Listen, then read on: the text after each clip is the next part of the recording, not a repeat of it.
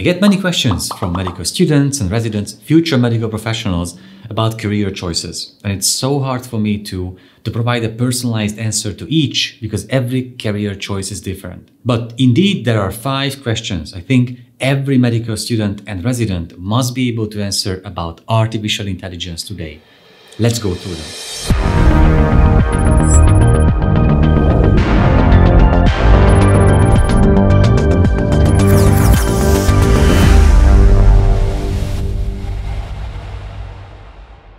Number one, do you know enough about AI?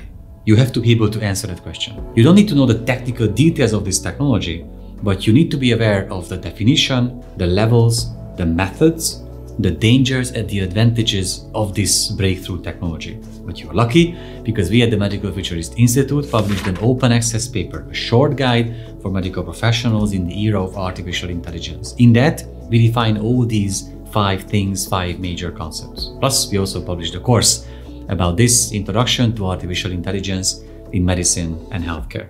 Number two, is learning to code your way?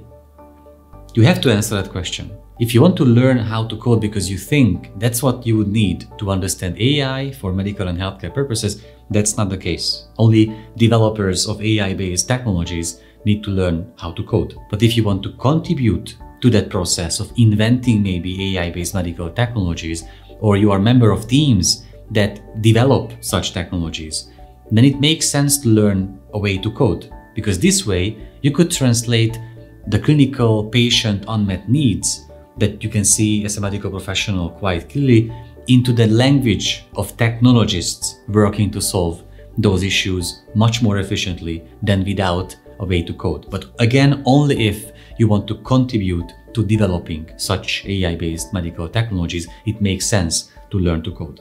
Number three, do you have a common language with AI? Because the language of AI is not a coding language, not Python, for example. The language of AI is anticipation. Being able to build decision trees and anticipate, predict, foresee what kind of responses you will get for a question or if you make a move in chess then what kind of move the other person other person would play. Anticipate what might happen next and how you can use your decision tree as efficiently as possible. To learn the language of anticipation you might want to play two player board games chess or go even starcraft but looking for a common way of anticipation so you understand the language of AI is of crucial importance because this way you can understand the progress of AI better. Number four, do you know the skills that differentiate you from your other peers? It's not even that much relevant to AI. It's about what kind of skills would make you an exceptional human being, especially when it comes to you being a medical professional? We published a paper about what skills we think would be crucial for future medical professionals. Digital health literacy, uh, knowledge about AI, uh, the ability to translate pra practical clinical issues into technological solutions, uh, teamwork, creativity, intuition. You need to know what skills make you an exceptional medical professional to be able to understand where to find your balance and your position, your role in this healthcare ecosystem, especially when more and more AI-based medical technologies come into the picture. Number five, do you know what impact AI would have on the medical specialty you choose right now?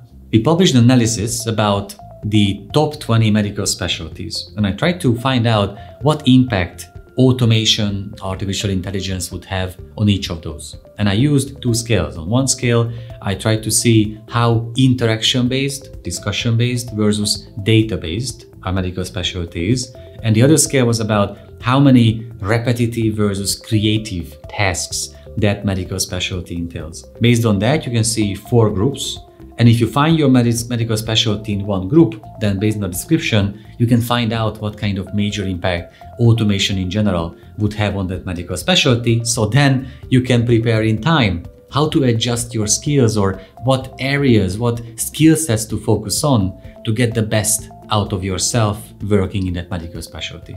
And 5 plus 1, a bonus question. Are you ready for the real era of the art of medicine?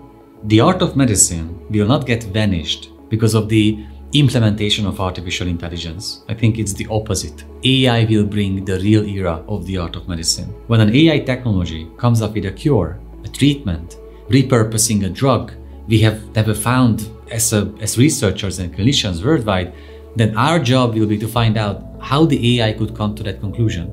And you will need everything at your disposal knowledge in biology, pathology, technological details, experience, your human supervision, intuition, creativity, everything to understand how the AI could find a cure for a disease we couldn't find a cure for for hundreds of years. That's gonna be the real era of the art of medicine. I hope that being able to answer these five plus six questions actually help you in your careers. And as future medical professionals, you will be the ones that know how to use, how to implement this breakthrough technology into the practice of medicine for the benefit of patients and for the benefit of your own job to enjoy why you become a medical professional to be able to care for patients. I wish you good luck with that. If you like this video, please subscribe below to get notified about every single new video we come up with. And also please go to medicalfuturist.thinkific.com where you will find our two courses, the Digital Health course and our newest one, Introduction to Artificial Intelligence in Medicine and Healthcare. See you there.